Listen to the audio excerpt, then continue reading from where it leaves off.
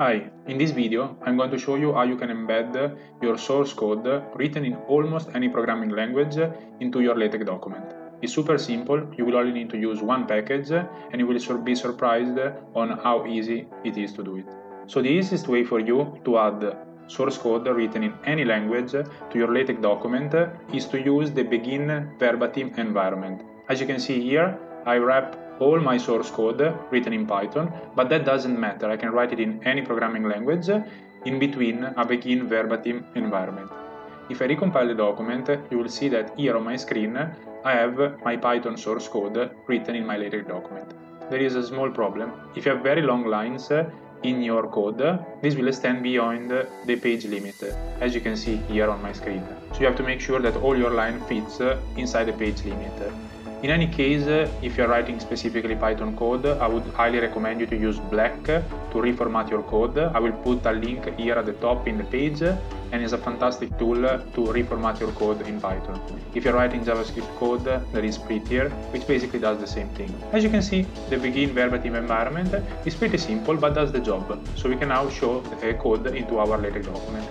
Of course it has limited functionalities and therefore the next thing that I will want to show you is the package called listing. Just for your information, these are all the languages that are actually supported by the package listing. As usual, I will put all the code that I'm showing here on the screen in the video description. So the first thing that we need to do is to import the package called listing here at the top before begin document. Then inside an environment called lst listing, we can just write our code. Again, doesn't have to be Python. As you can see, we have the same problem as before. This code overflows. But with the package listing, we can tackle that uh, and we can fix that uh, very easily. So as you can see in my Python code I also wrote some LaTeX code because I would like that it renders well, like for instance here the degree symbol. So how can we fix all that with the listing package? Well, it's pretty simple. So after uh, the begin LST listing, inside square braces, we just have to specify some options. For instance, we want that the language is Python, we want to add a caption, we want to add a label, so then we're going to be able to reference this code in any part of our document. We want to use mathescape equal to true, so we'll solve that problem with the degree symbol. And we also want to specify break lines true. Of course, there are a lot of uh, other options that you can specify. Here I'm just covering a few of them. I would highly encourage you to look at the listing uh, documentation online. As you can see now we have fixed a lot of things. So first of all, uh, we have a nice caption to our code. Then we can see that our code is formatted according to Python we have a break line, so the code is not overflowing beyond the page margin, and we can also reference our code into our document. So for instance, in the text now we can write as shown in listing, then we can have a tilde, which is a non-breaking space, and then ref, and then inside here we can just reference the code, so lst and then code. So now, as you can see here, I have LaTeX that automatically now is tracking this listing. So if I'm going to add the code before this one, automatically LaTeX will update this reference for us, which is a fantastic thing. However, you might say that the code doesn't still look very beautiful, and the one that I previously showed was much better. So let me show you how you can do that. Well, the first thing that we actually want to we want to change, or at least I want to change, and I want to show you how to do it, is to change this here. So by default, the listing package will list all the code with the text before the caption saying listing. I honestly don't like that. I prefer to have source code. So with these two commands, we can specify that we want uh, that uh, to appear as uh, source code rather than listing. So as you can see now we have changed that here. Of course, we are going to have to say source code also in our text here in the introduction.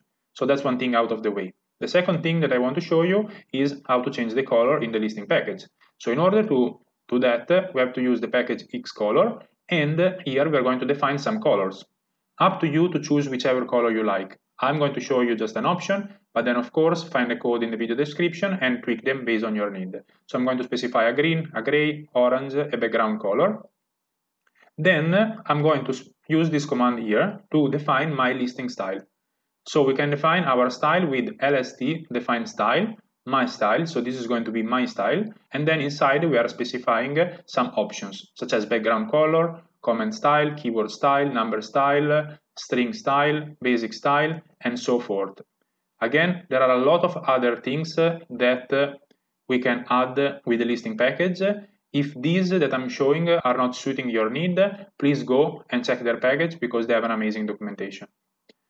Finally, the last thing that I want to show you is how to set the style, because now we have defined the style, but if I recompile the document, nothing has changed. So we can specify the style with this command, lst set, and then we can say style equal to my style. Now the source code will render as we want.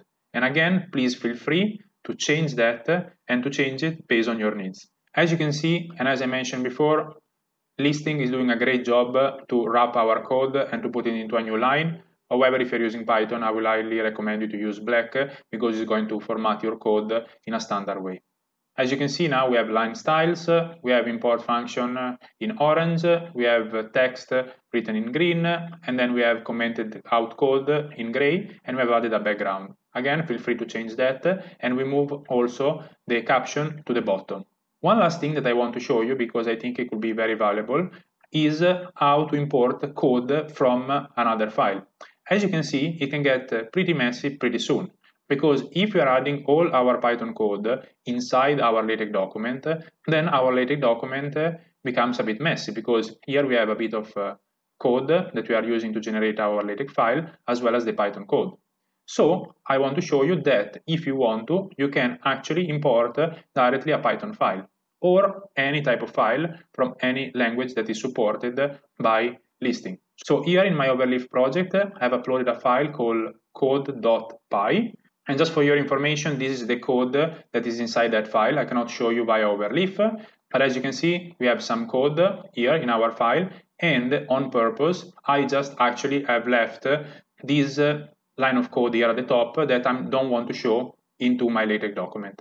How can we import our file and how can we skip some lines? Well, that again is super simple. We just have to go back to our main text. We just need to make sure that our file has been successfully uploaded.